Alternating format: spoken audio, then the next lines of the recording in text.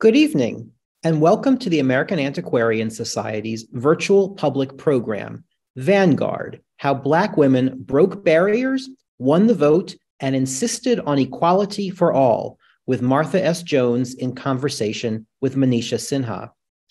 The American Antiquarian Society is located on the ancestral homelands of the Nipmuc tribal community, who remain an active presence here in central Massachusetts. I'm Scott Casper, president of the Society. Our mission is to cultivate a deeper understanding of the American past, grounded in the primary sources AAS has been collecting since 1812. In addition to welcoming researchers from around the world to use our collections, physical and digital, we host programs like tonight's that provide insights into the past and its resonance for our own day.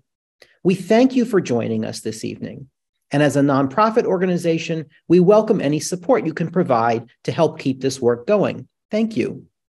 My colleague Amanda Kondek will be sharing a few notes on how to comment and ask questions in the Zoom Q&A. Amanda will also post links and relevant information in the chat throughout the program.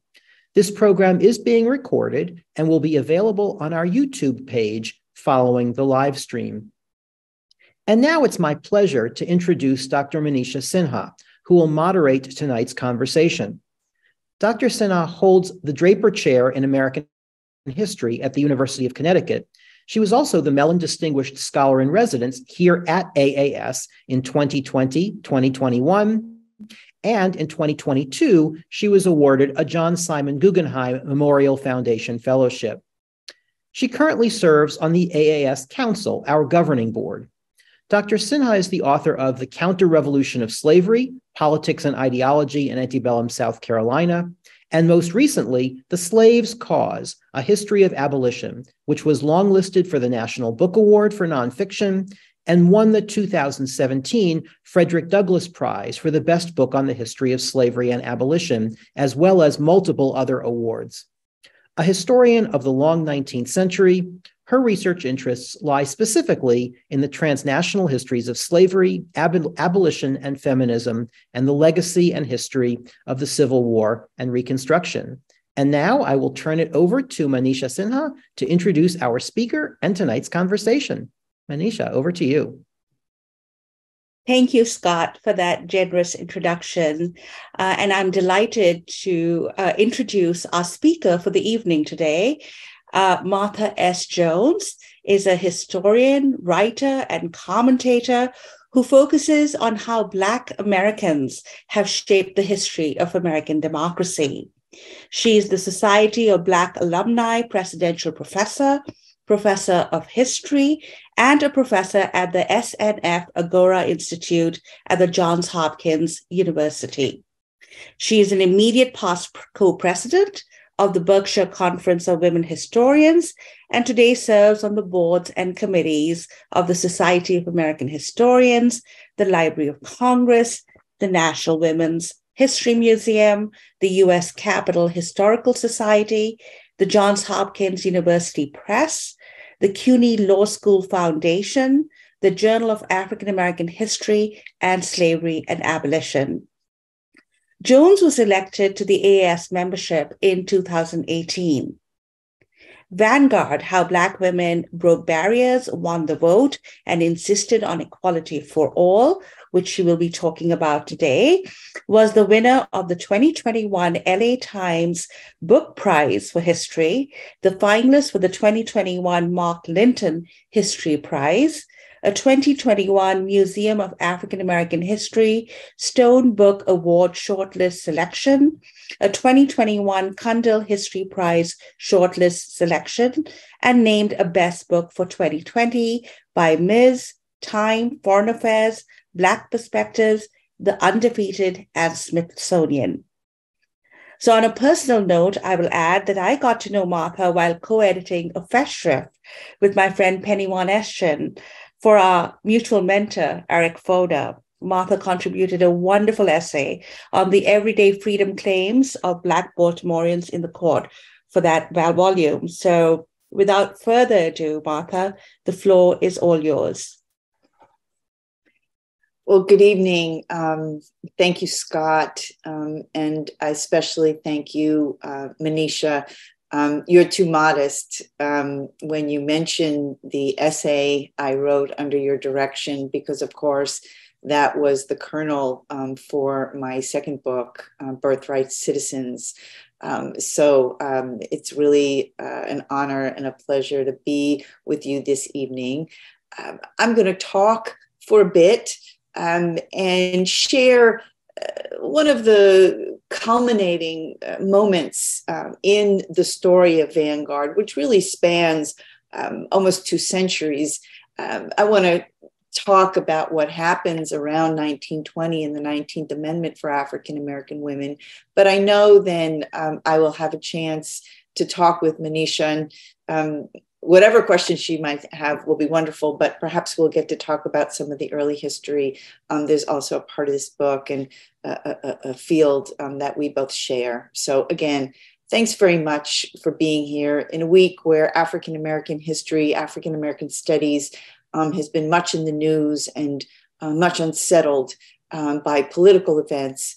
Um, it's really an honor to be at the American Antiquarian Society and have a conversation with you all about um, wonderful history.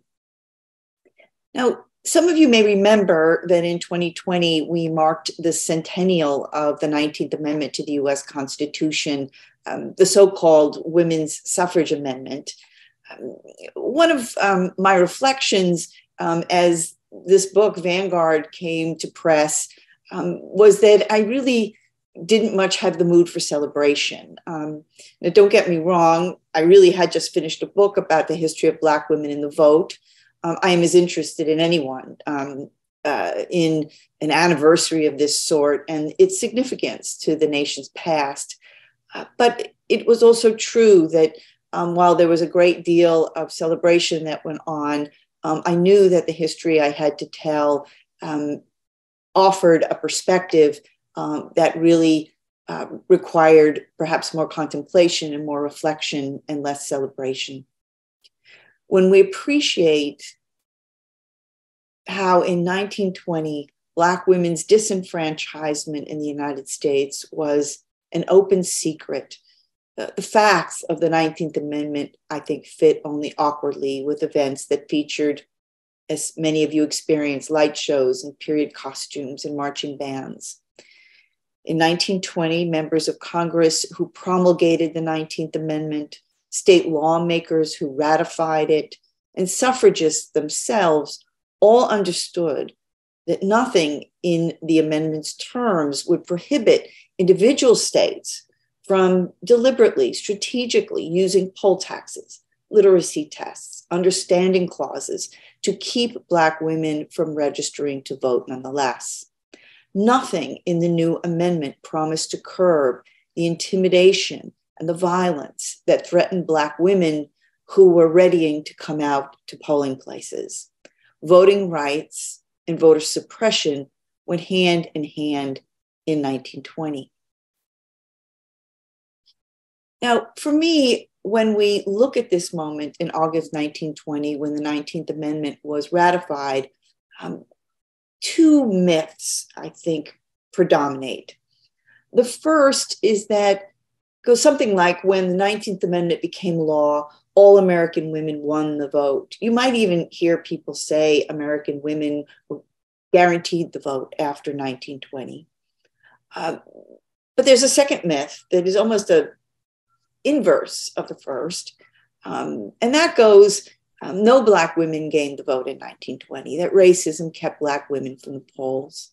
And so um, our conversation tonight um, is in part a confrontation with those myths, um, confronting it with good history. Um, and of course, neither one of those broad generalizations hold true.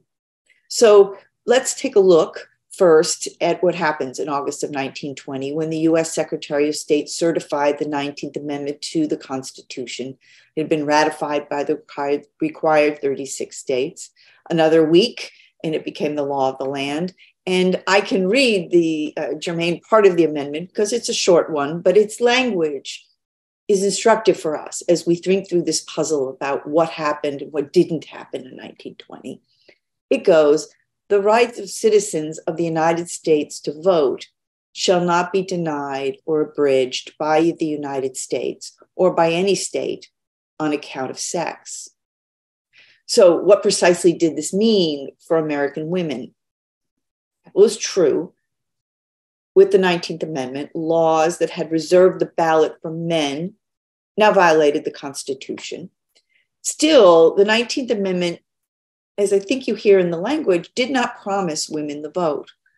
Still, laws, state laws, kept women from the polls based on age, citizenship, residency, mental competence, and more. It was still true in 1920 that women who were US citizens who married non citizens were denationalized, lost their citizenship, and hence their right to vote. So in 1920, as the fall arrives, American women still face hurdles getting to the polls, even if sex was no longer one of them. Of course, in our conversation, there was one additional barrier to women's votes that persisted even after the federal amendment, and that was anti Black racism. It was true that the 15th Amendment in 1870, 50 years earlier, had expressly forbid states from denying the vote because of race.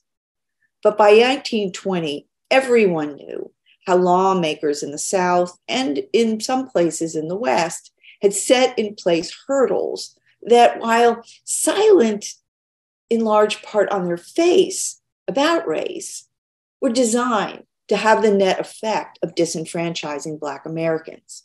Those poll taxes, literacy tests, grandfather clauses had effectively kept many Black men from casting ballots since the 1890s. Unchecked intimidation and the threat of lynching had sealed that deal um, local voting officials had effectively constructed in many places a color line, even if they didn't expressly invoke race. So, did American women win the vote in 1920? Well, not all women.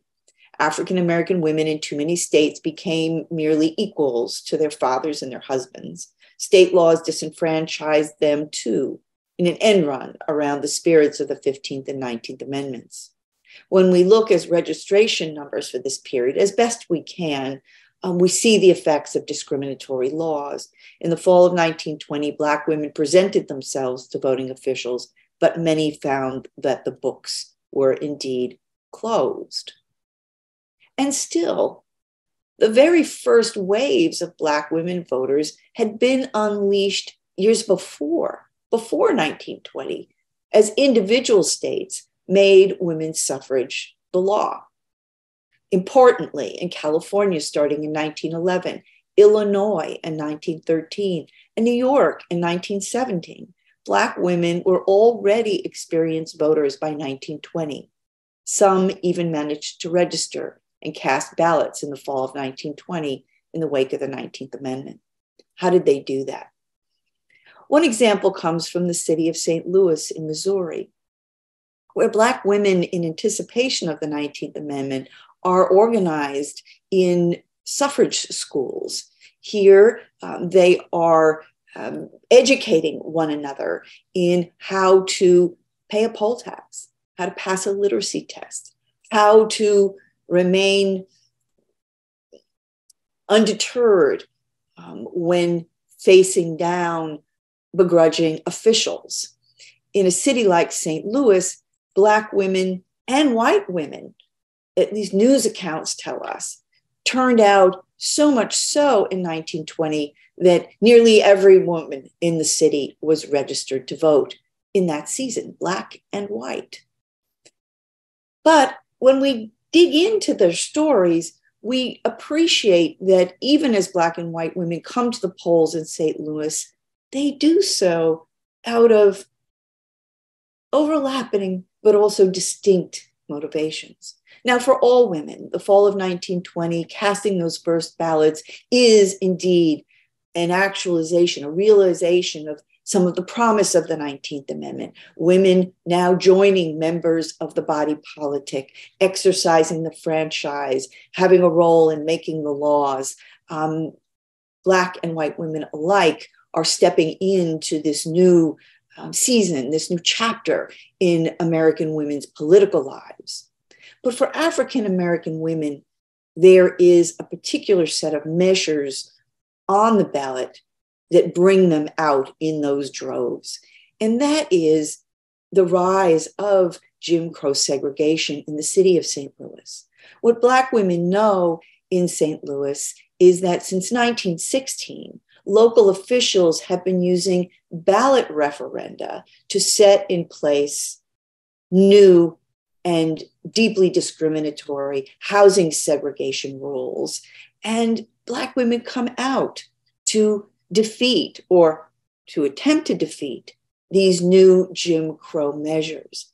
And so we see the ways in which Black women's political identities, their political motivations, the meaning of the 19th Amendment for them lives right at that intersection of both the realization of their rights as women um, and their ongoing struggles over their rights as Black Americans. But contrast the story of uh, St. Louis, Missouri, to that of Daytona in Florida, where the educator and National Association of Colored Women's Club leader, Mary McLeod Bethune, was traveling the state of Florida in 1920, encouraging Black women to organize, to register, to come out and cast their ballots that fall.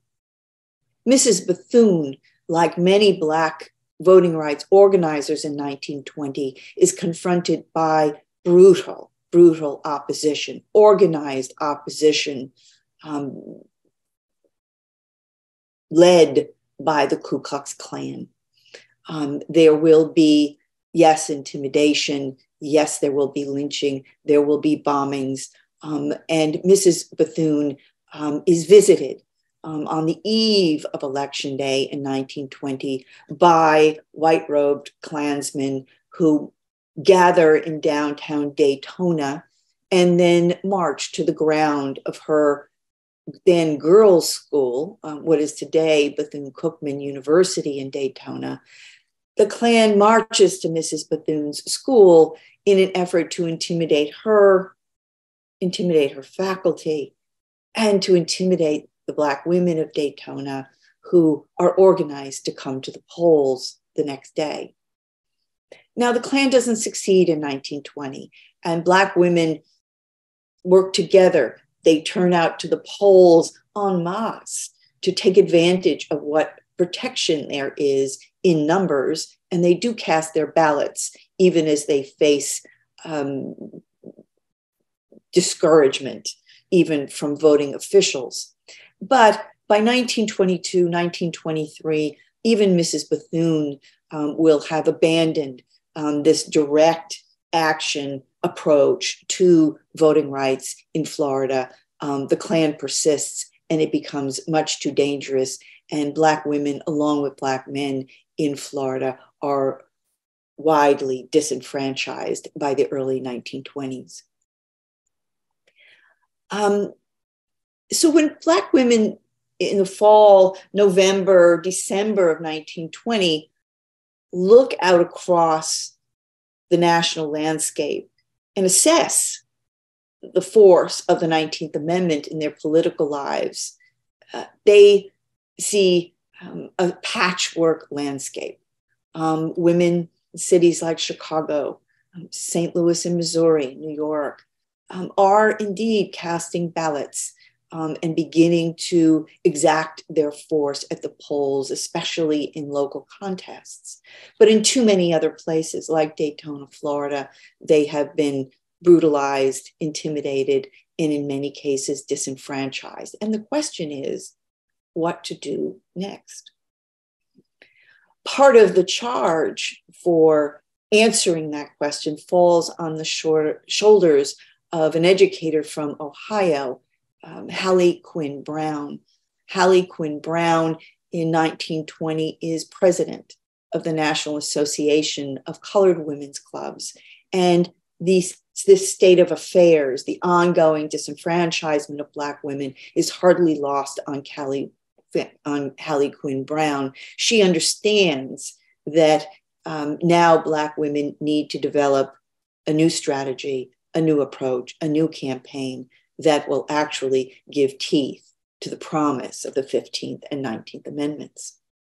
And uh, Black women uh, associated with the club movement uh, will organize, um, so much so that by the beginning of 1921, um, they are prepared to execute on a campaign, a campaign now aimed at winning federal legislation that would give teeth to these amendments, that would override the state laws that would curb the violence and intimidation and fully restore Black voting rights across the country.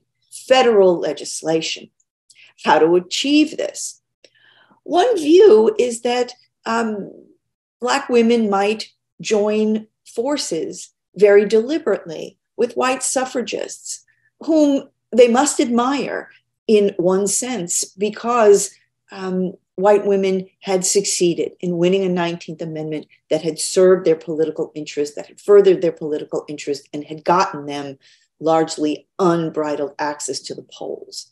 And in fact, um, this is an important enough uh, vision for an ongoing movement for women's voting rights um, that a contingent of Black women activists will attend the meeting in February of 1921 of the National Women's Party. Um, here, um, they are looking to call on Alice Paul, um, the radical suffragist who had been so responsible for bringing the president, bringing Congress to the table on voting rights, and ultimately winning the 19th Amendment. These are women who believe that if they can join forces with Paul, they can continue the job and win this federal legislation. And they call on Paul. And we know too little about what's said behind closed doors between these women, um, but we do know uh, what happens next. Um, Alice Paul um, rather than joining forces um, with Black Club women in 1921, um, will begin to fold up the National Women's Party, will deem that chapter in her work done, um, and very soon thereafter will begin a new campaign for a second federal amendment, um, a federal amendment that is still seems making its way toward ratification, an equal rights amendment. Um, but women like Hallie Quinn Brown and her contingent of club women are really left now to build a campaign on their own to win Black women's voting rights. The story of what follows, um, some of that is part of fable. Um, but I want to remind us that it takes a three pronged campaign and another half century for Black women to fully win voting rights in the United States with the 1965 adoption of the Voting Rights Act. How do we get there? Three paths, companion paths.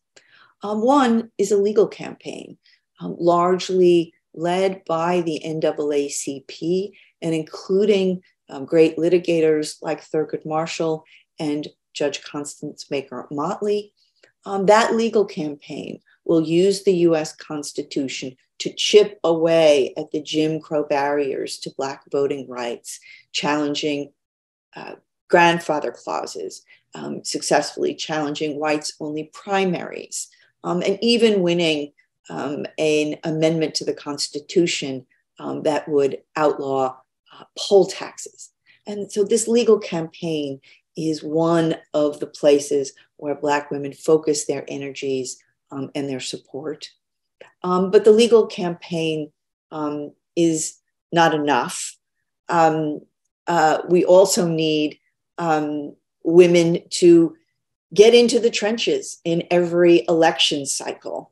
And Black women will indeed, out of 1920 going forward, when they can, where they can, register to vote, cast ballots, use their voting power strategically to move the needle on election day. Probably best remembered for this facet of the ongoing movement um, is the work um, organized in part by Ida B. Wells in the city of Chicago, where Black women have been voting since 1913, um, where Black women by the 1920s are not only registered voters, they are Republican Party operatives. Um, they are strategically voting as a bloc out of Chicago um, to affect local elections. And indeed, in 1928, to help elect the first Black member of Congress since the rise of Jim Crow, Oscar DePriest, to the House of Representatives in 1928. So it is necessary to continue where these women can, as they can, to do that season in, season out work of getting to the polls and using strategically their voting power.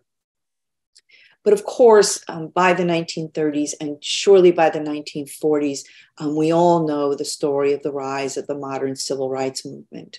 And now, Black women, um, not merely club women, um, now, Black women, not merely those with access to the polls um, or to legal strategies, um, but now, Black women are going to be the foot soldiers, the architects, the leaders um, the great minds of a movement that is going to use direct action to hold the feet of the president, hold the feet of Congress, really to hold the feet of the nation to the fire of Black voting rights um, and take us all the way through to the Voting Rights Act of 1965. Uh, in the summer of uh, 2020, so 100 years, nearly to the day, since ratification of the 19th Amendment, um, I was like a lot of Americans, um, perched on the edge of my uh, sofa with my television on, um, watching history in the making. Um, then uh, uh, California Senator Kamala Harris um, was slated to accept the Democratic Party's nomination. She was going to run for vice president alongside Joe Biden. Now, I don't know about you, but for me, I was going to tune in just to see history being made. Um, but I also wanted to hear what Kamala Harris would tell us about who she was how she came to be there, and how she saw herself in history. What I knew from my research for Vanguard was that in nearly every generation, as Black women have taken to the pages of newspapers, as they have taken to the podium, as they have taken to the radio waves, to the cameras, to the internets and the blogs and more, as they enter political culture, um, they necessarily tell us stories about the histories that bring them to that moment, helping to make themselves discernible, legible, and part of the fabric of the American story of the body politic. And Kamala Harris didn't hesitate. Um, if you remember, you probably recall she pays tremendous homage to her own mother, um, an immigrant to the United States from India, um, a researcher, a woman who raised her daughters to know no limits about their ambition and their possibilities. Um, as Harris put it, she stood on the shoulders of her mother. And then she went on to pay tribute to the women of Vanguard, um, six of them. And when I'm talking with young people, this is the quiz part of the evening. Now, we're on Zoom and you all are at leisure at home. And so there's no quiz tonight. Um, but I do want to share with you the names that now Vice President Harris invoked as she described the political history, the shoulders upon which she stood. And part of what I want you to hear is while there were many luminaries she might have invoked, Frederick Douglass or Harriet Tubman and Elizabeth Cady Stanton and Alice Paul she gave us the name of six Black women who, across this long story of the campaign for the 19th Amendment and beyond were some of the nation's unforgettable political leaders. And these are the names. You can quiz yourself if you'd like. Um, Mary Church Terrell, Mary McLeod Bethune, who I've mentioned, Diane Nash, Fannie Lou Hamer, Constance Baker Motley, and Shirley Chisholm. Here, Kamala Harris not only tells us something about her own personal journey as a political leader, she tells us something about a new, um, well, maybe not new, um, but often overlooked chapter in our political history. One that her presence, um, her candidacy, now her occupancy of the office of vice president, um, I think insists that um, each and every American attend to um, to understand uh, more fully, more completely, um, more insightfully, in fact, um, who Black women are um, in American politics. Now, Harris um, is an example, um, but the last thought I'll leave you with is that in the fall of 1920, as she runs for vice president, she is no longer uh, simply someone who is uh, breaking barriers, though she certainly is doing that. Um, she is not um, simply an exceptional um, figure any longer. Um, Kamala Harris will run on tickets that include um, more than 50 Black women running for Congress alone in 2020. Um, will include uh, Black women who are um, operatives, communication specialists, um, campaign strategists, and more behind the scenes um, in both sides during the 2020 election cycle. And then, of course, there will be those Black women organizers and the foot soldiers that they galvanize um, to make a difference in the outcome of very close contests in states like Georgia. So when we remember Kamala Harris, um, I hope we also remember these six women on whose shoulders she stands, and they remind us um, how Black women um, here in 2023 um, are today a force in American politics, um, not only firsts.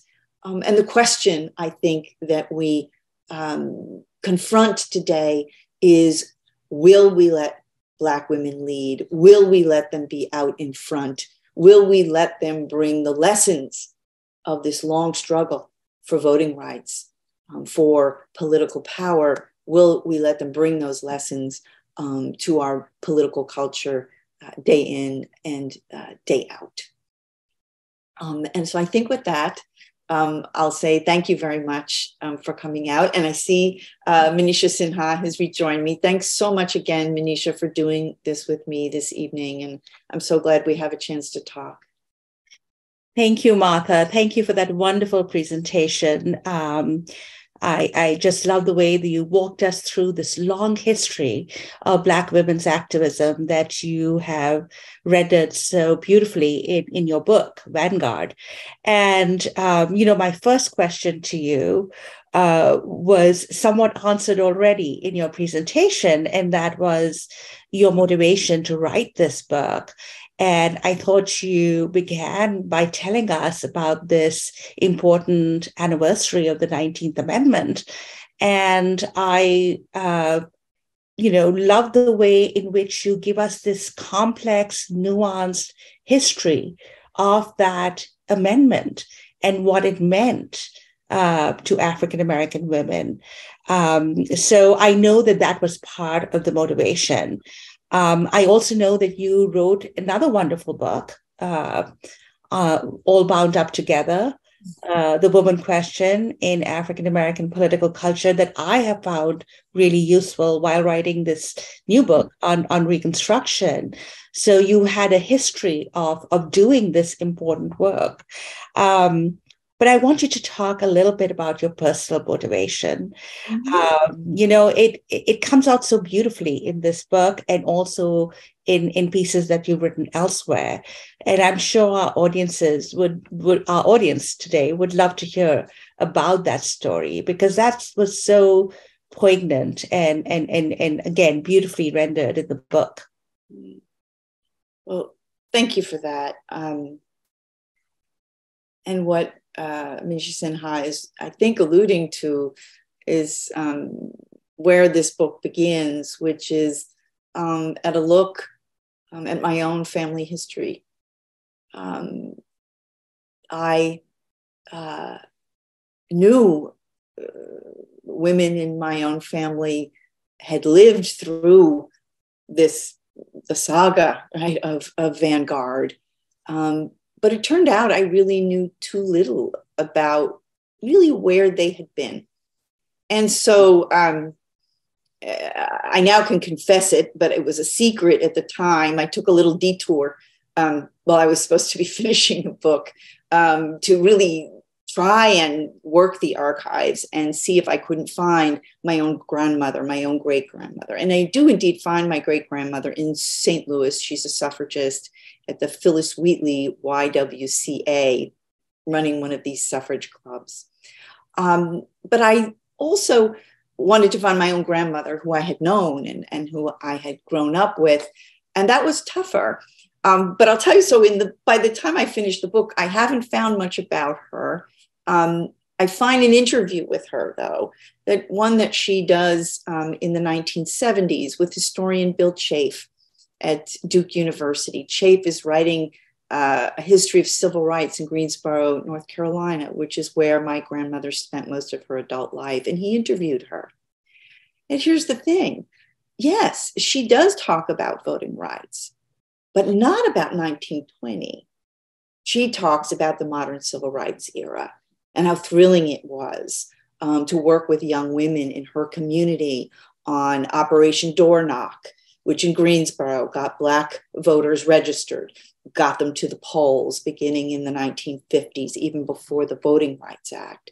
Um, so this, for me, was thrilling. But I will tell you, um, because time has passed and my quest for this story has not been satis you know has not been ended even as the book has ended. There's there's something to know about how we work.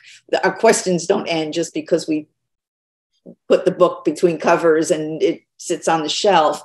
Um, so two things happened. One is um, my sister said to me after the book came out she said you know you're really the family historian. I, i'm gonna i have a bunch of papers. I don't know what they are. I'm gonna send them to you and sure enough, I opened the envelope and there is my grandmother's voter registration form um, among these sort of random documents that my sister had kept.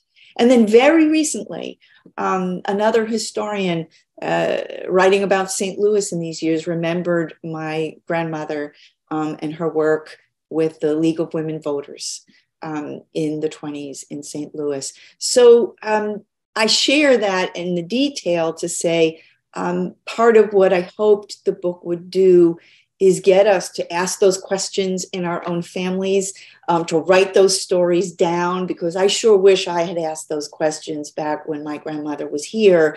Um, I'm left just to work the archives. Um, but we have these opportunities, many of us, to collect those stories and to ask our elders, our neighbors, our friends, our colleagues, and more. You know, where were you in these extraordinary moments? Because they really are worth making that record a part of history. Mm-hmm. That's a that's a wonderful story, you know, about uh, your family, and um, I mean, it really shows how this book is is a labor of love, and and it it shines through in many ways. Um, so, you know, in just in terms of the parameters of the book. It's an ambitious book because it goes right back to the 19th century and brings us down to, you know, present day current politics.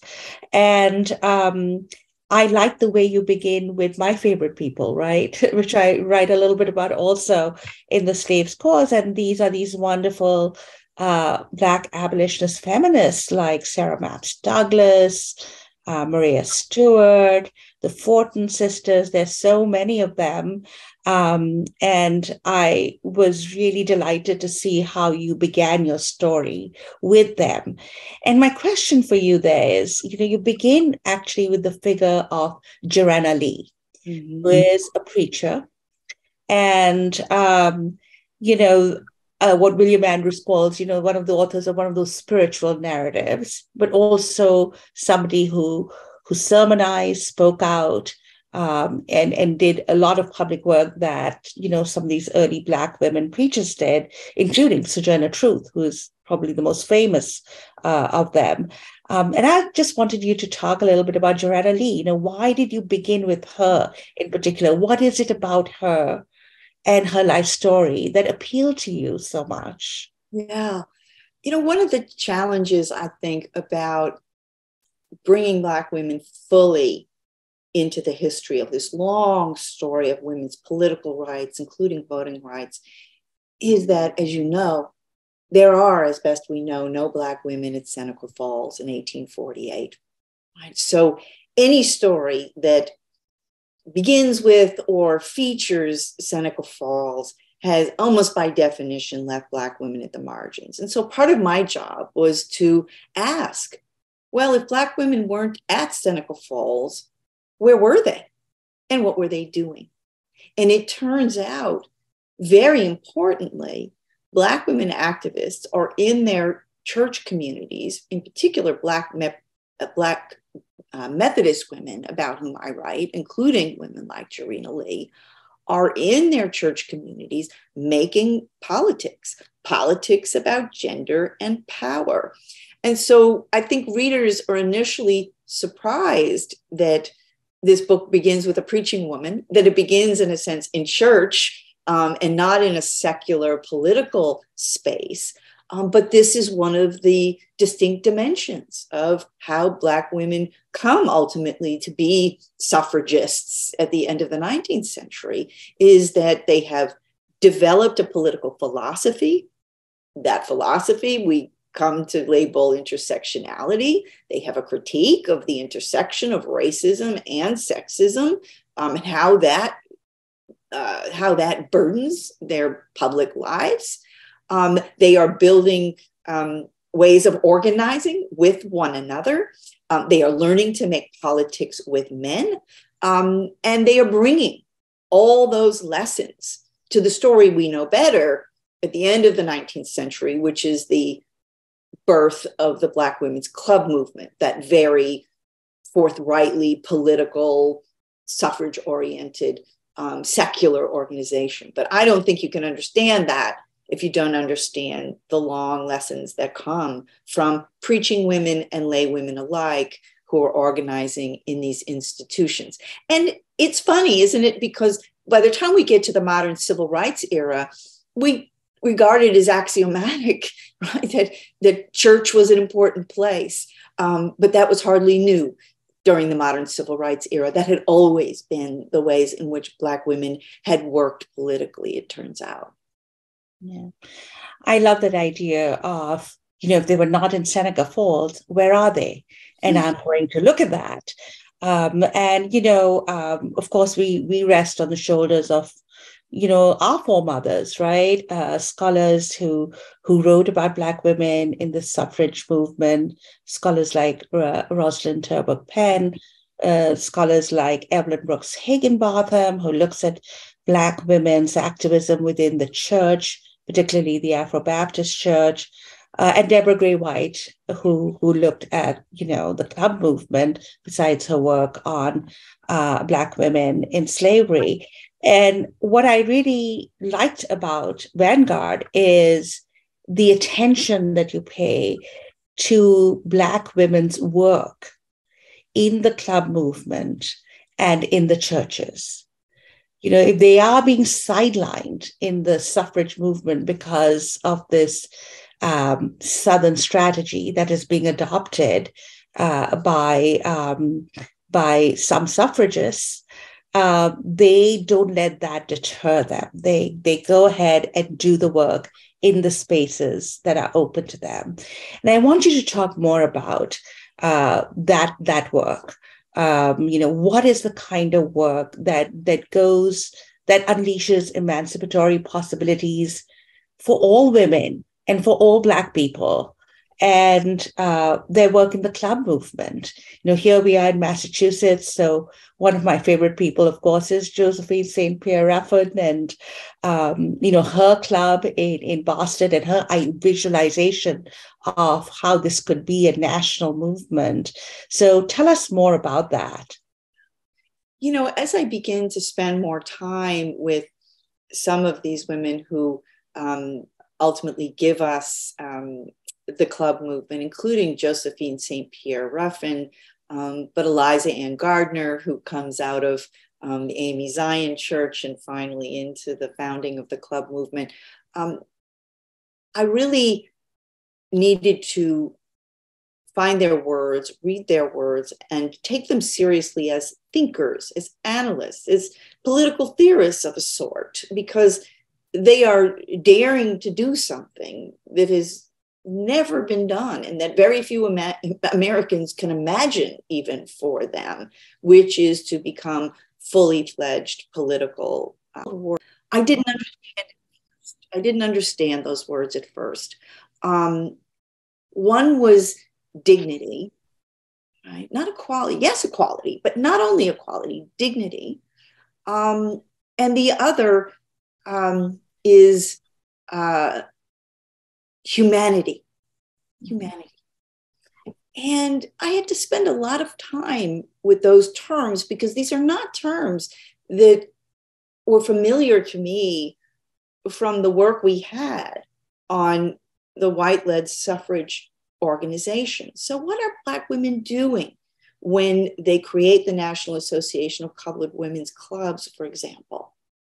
Well, they are telling us that there is a problem and the problem is not simply one of equality, it is one of dignity or indignity in their lives. And the way I like to explain this or, or illustrate this is to say what Black women have experienced is that long before they get to the Suffrage Association convention, they have experienced Jane Crow, the violence of segregation in transportation. And their white, the white women, their white women counterparts have watched, have watched that happen to them and have nonetheless deigned that to be outside the parameters of what suffrage associations should be charged with challenging. So Black women think, no, no, we are going to create an organization that will speak to our dignity right? Um, and not only our equality. And the second is humanity. Um, and here we learn that Black women really throughout, but certainly by the 1860s, when you have women like Frances Ellen Watkins Harper, um, the poet, um, anti slavery lecturer, but suffragists, beginning to speak to these questions, these are women who are looking to set the bar high for all of us, not simply for themselves. Um, they see a deep flaw in American democracy, and they believe, I think, not incorrectly, right, that any nation that will permit them to rise will, in the process, overcome, right, overcome a, a, a broad right, a broad swath of the inequality that is plaguing the nation. So they are really progenitors of a human rights vision, um, uh, which their examples and their experience fuels. Um, but it is not, that is not the end game for them. That is just the beginning place in their work in the club movement. Yes, and um, I have so many questions for you, Martha, but unfortunately, our time is up, and I can see Scott is is is is back here. But but you're right. You know, just to reiterate what you said in terms of uh, how Black women see a much broader emancipatory project than than some of the white suffragists do.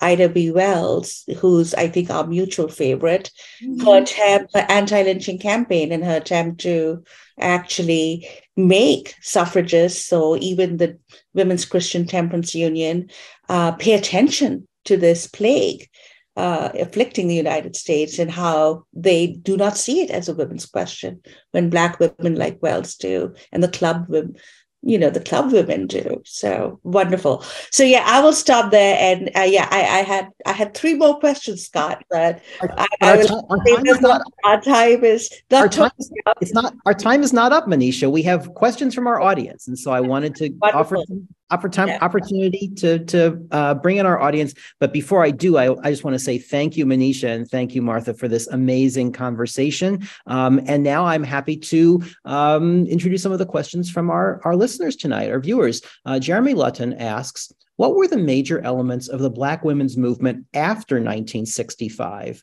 Or is the part of the movement considered over?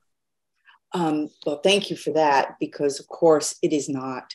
Um, that um, particularly in the American South, local officials do not acquiesce or roll over or step aside in the face of um, the enforcement of the Voting Rights Act by federal officials. Um, and so the next chapter is in part um, about extraordinary, courageous women um, who are now going to be the front line of breathing meaning, like live meaning into the Voting Rights Act. And as we know, that story has continued with many chapters that I know we don't have time to delve into tonight. Um, there is that. But there is, of course, also um, now um, extraordinary Black women who are going to step fully right into the body politic. Um, uh, historian Anastasia Curwood has a new biography just out on the great uh, Shirley Chisholm. Um, you know, Chisholm uh, elected to Congress, local office in the early 60s, to Congress in 1968, runs for president in 1972. And there's less to say about that, but for our purposes, just to say, Chisholm doesn't think she's going to win the Democratic nomination exactly in 1972, but what she's going to do is ignite that newly empowered Black electorate like it's never been ignited before by way of her national campaign for the Democratic nomination. Um, so, breathing life into a Voting Rights Act requires um, women's activism, commitment, and courage. Yeah.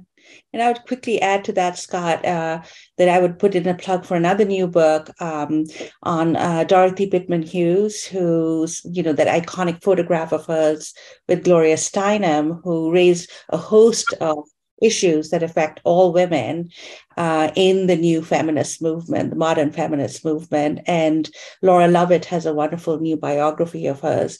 But I think, as Martha wonderfully shows in her book, even after 1965, I mean, the vote, the Black vote remains contested, right? So it's not as if everything gets solved. And I think what was really interesting about the book was the way in which you trace modern activism by Black women, Martha, uh, in trying to continually secure that vote.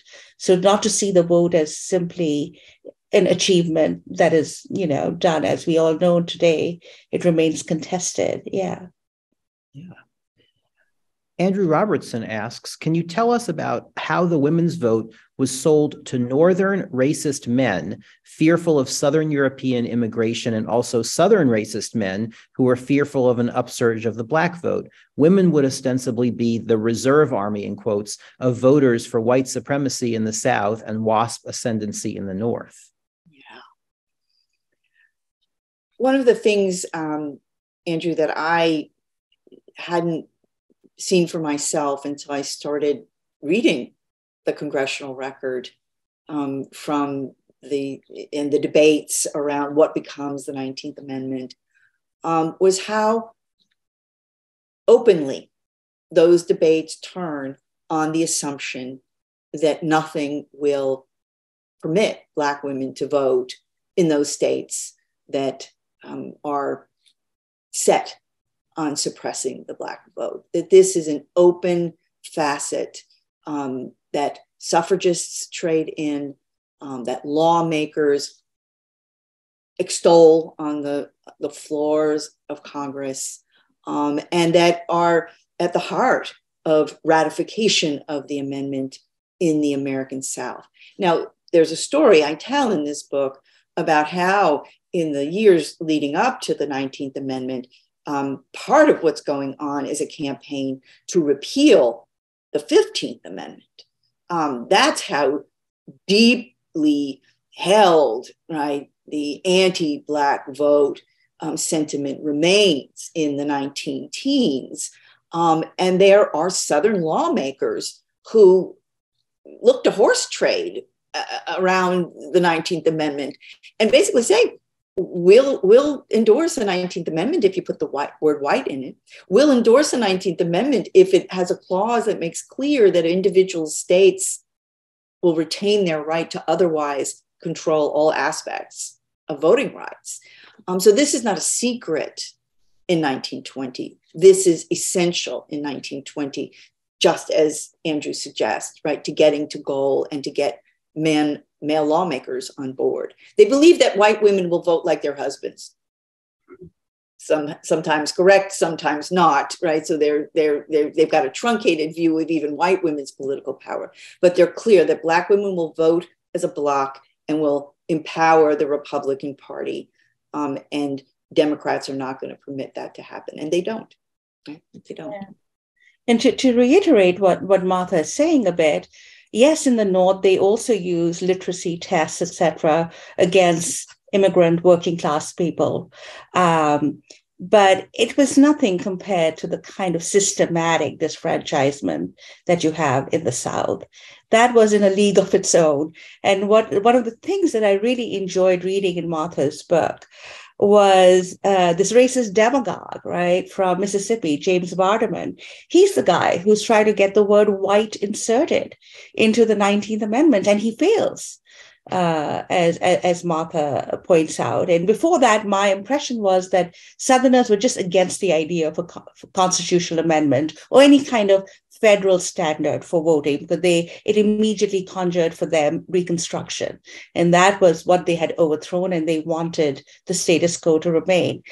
But as martha shows in her book when they realize that the 19th amendment is going to pass they try to wor- insert the word white and they fail.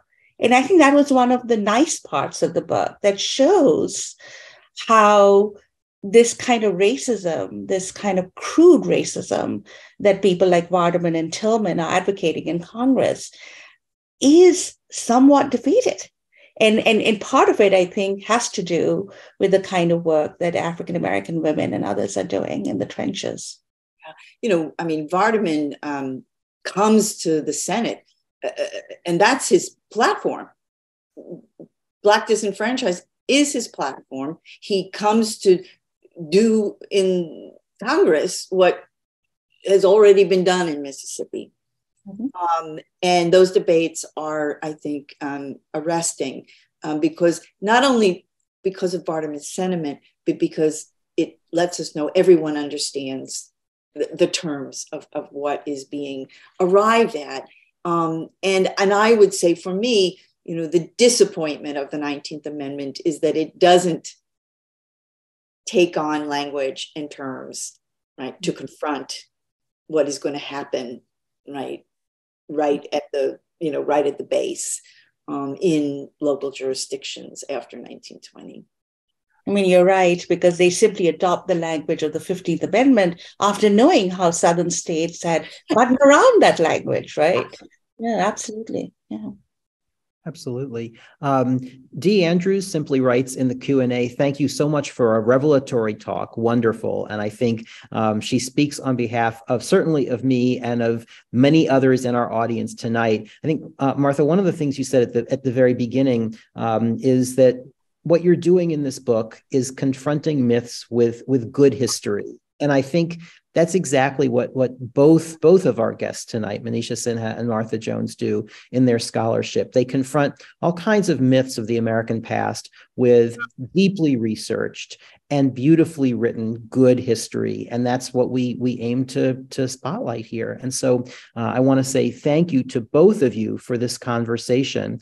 Um, I also want to thank our partners at the Worcester Black History Project, uh, which is a co-sponsor of our event this this evening. Uh, for those of you who are here in Worcester or in Central Massachusetts, I want to call your attention to an exhibition that the Worcester Black History Project is is sponsoring uh, this week and next week of uh, the Black Doll Project from the Black Doll Museum. Um, for those of you who are here in Worcester, that exhibition is at the JMAC, the Jean McDonough Arts Center, uh, through February 10th. There's an opening reception and various other events and activities this Saturday. So I encourage you to check out that exhibition. I also want to encourage all of our, our viewers tonight to come back in three weeks, three weeks from tonight, when we have our next virtual program. Tara Bynum will be here to talk about her new book, Reading Pleasures Everyday Black Living in Early America, which just appeared in the last couple of months. That's Thursday, February 23rd at 7 p.m. We also have a full slate of programs for March and beyond. Please check the AAS website. And if you'd like to recommend tonight's program to friends, all of our public programs are available on the AAS YouTube channel, as this one will be quite soon. Um, Martha Jones, Manisha Sinha, thank you so much for, for this conversation this evening. And, and thanks to all of our viewers, and have a good evening.